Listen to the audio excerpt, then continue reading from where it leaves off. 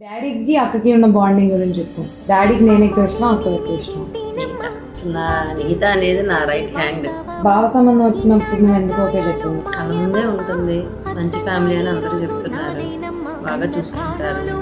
బాగుంటుంది సార్ నీకేమనిపించింది చాలా నచ్చాడు బాగా చూసుకుంటారు. బాగా ఫోన్ చేస్తే ఏమైతే చెప్పి ఇంట్లో?